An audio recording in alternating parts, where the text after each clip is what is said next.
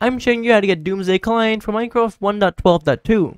So to get it, you want to head over to Doomsday Client's official website, which is doomsdayclient.com. This is going to be linked down in the description below, together actually with my Discord server. I greatly appreciate it if you could join that. Anyways, on their website, you want to click on the download now button, and then on download once again, and the download will automatically start. I have Doomsday Client. The name is always going to be randomized, so yours might have a different name than mine. Anyways, what you want to do when you have this file is first off make sure that you have the Java platform made by Oracle installed. You'll already have this if you've ever modded Minecraft before or used something like Forge or Fabric. If you don't have it or you're not sure, then I will link that down in the description below. Anyways, you can simply double click on this file to open it. However, if that doesn't work, you can right click on it, go to open with, and then select the Java platform, which is the one I said you needed. Anyways, this client can be injected with this big blue button over here, and I'll show you how to do that in a second. But you can actually also install it. So to install it, we can go over to this install tab, choose our Minecraft version, and in my case, I'll choose 1.12.2. As you can see, you can also install it for Forge if you wish to do so, but I'm not going to do that in this video. It doesn't change much though. Anyways, I'll select 1.12.2 and then I'll click on install just like this. As you can see it installs really quickly and it is now being successfully installed. With that done, I can close up this and open up the Minecraft launcher. So now on the Minecraft launcher, you want to open up the installations tab and see if you can find it. If you can't, then you want to go over to installations over here, click on new installation, and then under versions, search for one called Doomsday. Make sure you spell it correctly, of course. Anyways, here I can select the installed 1.12.2 Doomsday, and I'll just call this Doomsday 1.12.2. Anyways, once you've done that, you can click on create, and if you didn't have it here yet, then now after creating it, you will, as you can see, right over there. So now I can simply click on play, after of course understanding the risks that come with playing modded Minecraft. So here I have Minecraft 1.12.2 and I'll just go into a random world right now and show you that I have Doomsday up and running. As you can see, I'm right over here. We have the Doomsday logo and I can open up Doomsday as well. I'll show you how to use it in a second, but first I'll show you the injection method. So one of the best parts of Doomsday Client is that you can inject it. As you can see, I have Minecraft 1.12.2 right over here. This is completely vanilla, and I don't have anything injected right now.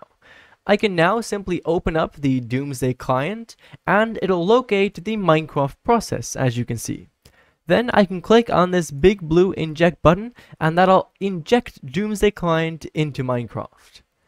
And once that's been done, I can just go into single player, in this case of course, and then now, as you can see, Doomsday will be enabled as well. So it doesn't matter how you really enable Doomsday, you can also use it as a Fabric or even Forge mod. Um, I'm not sure if it supports Legacy Fabric, but oh well. Either way, it'll all work in the exact same way, and right now, I'll show you guys how to use this. Also, the reason I have the default Steve skin and not my regular skin is because of Minecraft verification issues with Azure. Um, this might not ring a single bell if you're watching this video a while after it was published. Anyways, it there's just been some Minecraft connection issues and it's unable to retrieve my skin for right now. Anyways, to use Doomsday Client, you can simply press on the right shift button on your keyboard and it'll open up the Click GUI area. In this Click GUI, you can simply find all the utilities that this client has. You can click on them just like this to turn them on, and you can click on them just like that to turn them off again. Now, with most of these utilities, you can right click on them, and you'll get a little bit of a customization menu. As you can see, they all have unique customizations, and some of them have more customizations than others. Anyways, for these utilities, You'll notice that enabling them is going to be listing them up in the top right corner, and there's also a Doomsday logo on my screen as well. That is all part of this client's HUD, or heads up display.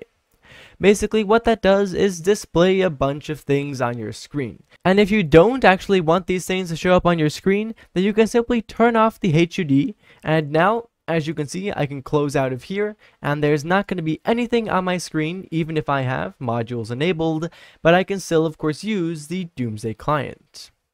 Anyways, in this area, we also have the GUI, which is basically this area customization menu.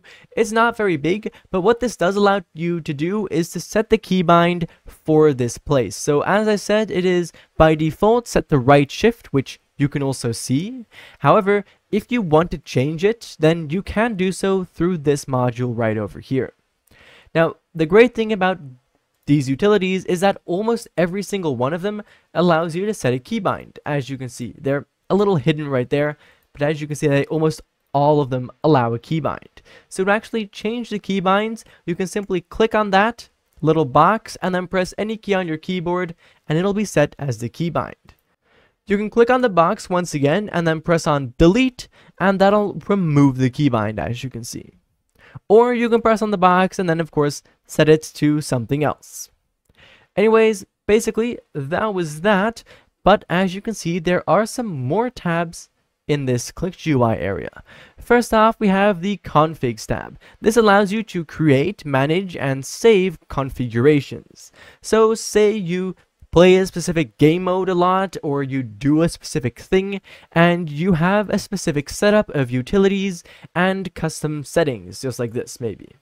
Right? So you can save those multiple times and then load them depending on the situation you're in and that can be done with the config manager over here. You can also import configs by downloading them from online, maybe ones that other people made, but do of course watch out with that generally downloading things from online. Obviously, right? Anyways, then we also have a friends tab over here. This actually allows you to add Doomsday Client internal friends by simply entering their gamer tag. And now there is also a self-destruct mode. As you can see, the default keybind of this is L. Of course, you can change that. And basically, what self-destruct does is completely remove the client from your game. If you are using this client as maybe a forge mod or as an installation, then this self-destruct mode won't really work that well. Well, it will work, it'll remove the client from your game, but it'll still be in your game's files, of course, right? Because you're using it as a mod in the mod folder.